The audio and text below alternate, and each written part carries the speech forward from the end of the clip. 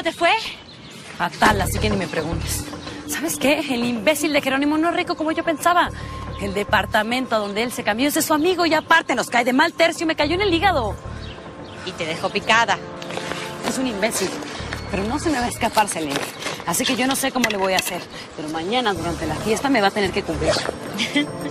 ¡Diego! ¿Qué onda? Hola. Justo en ti estaba pensando. Ah, sí, Dime, ¿qué tan ardido te quedaste con lo que te hizo mi hermanita? sin comentario, Roberta. Eso de cambiarte así de rápido por otro debe de doler, ¿no? Dime, ¿a poco no te gustaría darle una lección?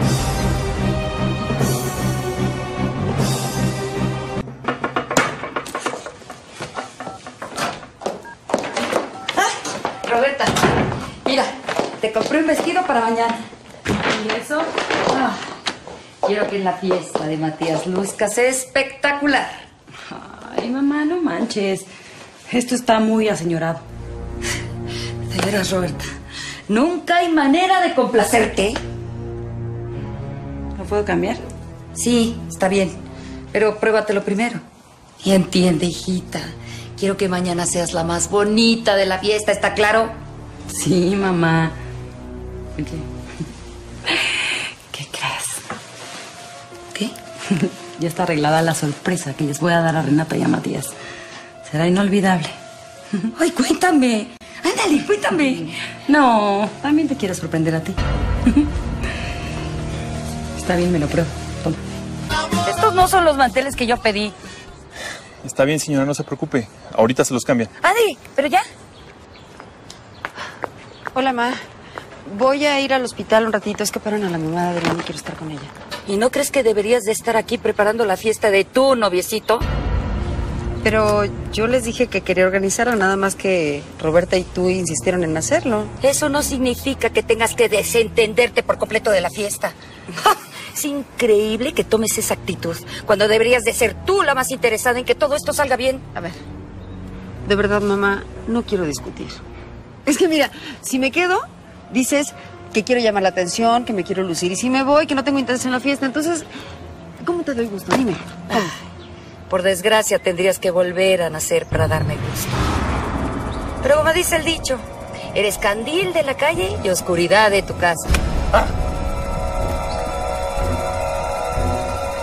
Esta noche Renata va a acaparar la atención de todos, pero no como lo hace siempre, sino de una manera muy diferente. Yo no sé qué planeaste, pero ten mucho cuidado. Yo no quiero que vayas a salir perjudicada, ¿eh? Mi interés es que Matías y Renata empiecen a tener problemas para separarlos, pero eso es todo. Ay, mamá, no te preocupes. No voy a salir embarrada. Al contrario, será la primera vez que un galán mío quede completamente decepcionado de ella. En lugar de estar pensando en galanes que puedan o no fijarse en Renata, deberías aprovechar para quedarte en su lugar. ¿Cómo que en su lugar? Sí, aprovecha para ocupar el mismo lugar que ya tiene en la vida de Gonzalo y ahora en Matías. Eso sería actuar con inteligencia, mijita, mijita. O sea, ¿estás insinuando que aproveche la situación para ganarle a Matías? Pues claro.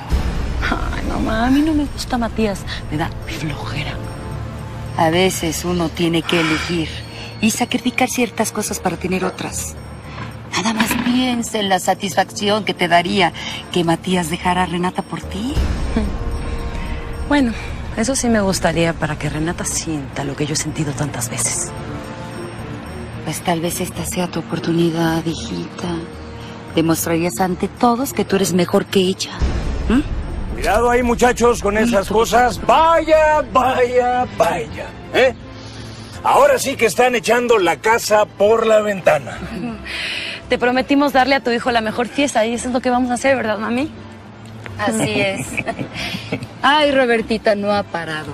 Ha supervisado personalmente cada detalle. Princesa, muchísimas gracias. ¿Y Renata dónde anda? Ay, Renata. Fue a ver a una amiga. Yo quería que le ayudara un poco a Roberta, pero parece que ella no tiene el mismo interés en la fiesta que nosotras. ¿Y eso que se trata de un festejo en honor a su novio? Roberta. Gracias, Roberta. Te juro que ya me muero porque llegue la hora de la fiesta. Para ver la cara de Renata con la sorpresita que le vas a dar. Esa la voy a disfrutar muchísimo. Pero mi prisa es porque ya quiero saber qué tan imaginativo es Jerónimo. Con eso es que me va a dar una sorpresita. No debiste hablarle después de lo que te hizo en el departamento. Pues sí, pero ya lo hice y no me arrepiento. El pretexto que le di fue perfecto. Aparte ahora sé que sí le intereso. Está penado y hasta va a ir a la fiesta. ¿Qué onda, Roberta? ¿Que ¿Ya estás lista para el show de la noche? Yo sí. ¿Tú cómo vas? Ya está todo arreglado. Ay, pero cuénteme, ¿qué van a hacer?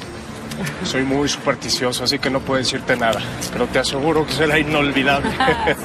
¿Para bien o para mal? Depende. Pero les aseguro que después de esta noche, Renata jamás me podrá olvidar. Dale. Ay, cuñis, cuñis. De verdad que eres bien cursi, ¿eh? Me dijo Gonzalo que vas a hacer labor social en el centro de la tal Regina, se llama, ¿no? Me pidió que hiciera lo mismo, pero la verdad yo prefiero que cada una tenga sus espacios. Sí, es lo más sano, ¿no? El centro de Regina está lleno de buena vibra y tú podrías contaminar. Mm. Oye, ¿y esa tal Regina buscó el apoyo de la empresa o cómo salió todo ese asunto? Yo la elegí. Su centro y su labor me dejaron impresionada. Y convencí a Gonzalo de apoyar esa causa. Ah, así que fuiste tú quien los contactó y no ella quien contactó a la familia Monterrubio. Ajá. ¿Te molesta? ¿A mí? Ay, no, ay, no, para nada. No. Oye, ¿y qué más sabes de su vida? Aparte de ese gran sufrimiento de haber perdido a su hija. No la perdió. Se la robaron, que es distinto. Y no, no sé nada de su vida, pero ya lo sabré. Tengo el presentimiento que Regina, Inés, la otra fundadora y yo nos volveremos muy buenas amigas. Pero si ustedes no tienen nada en común. Aparentemente, pero estoy segura que con Regina tengo más en común que contigo. Una mujer como ella es la que debí presentarle a Gonzalo cuando se divorció de Melissa, no una revista como tú.